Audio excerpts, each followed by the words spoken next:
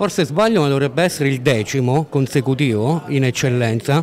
Mi, mi, sembra di sì, mi sembra di sì e confermo il decimo campionato consecutivo, quindi eh, dopo mi sa il Capistrello e un'altra squadra che non ricordo, noi siamo la squadra con più presenze nel campionato eccellenza.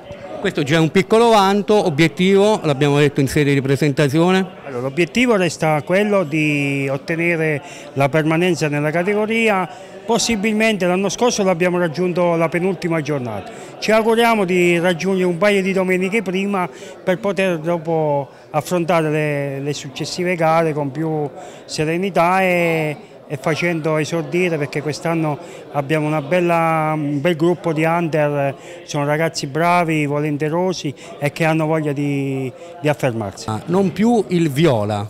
Sì, allora questo è anche motivo d'orgoglio perché questa mh, decisione di, dei colori e del logo che ci riporta un po' alla storia, alle tradizioni, perché noi siamo un po' tradizionalisti e ci, e ci piace e quindi se questi erano i colori, poi le vicende societarie, le fusioni, i nuovi dirigenti, i nuovi, hanno portato a dei vari cambiamenti, però fondamentalmente il San Buceto aveva questi colori dal 1958 e abbiamo deciso quindi di, di ripartire un po' da lì.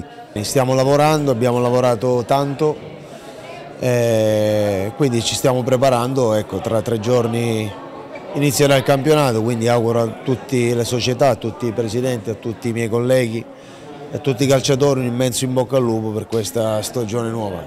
Che squadra è nata? Giovani soprattutto e qualche, qualche anzianotto amico magari che dà una mano.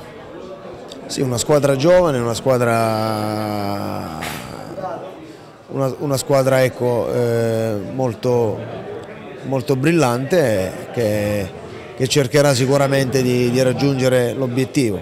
È chiaro che nell'ambito di squadra poi qualche pedina eh, un po' più, più, esperta occorre. Stiamo comunque la, la situazione acquisti rosa ancora non, non termina eh, arriverà qualcun altro, però ecco, devo dire che sono contento per i ragazzi, come lavorano e soprattutto lo spirito con cui si sono, eh, si sono messi sotto. Insomma.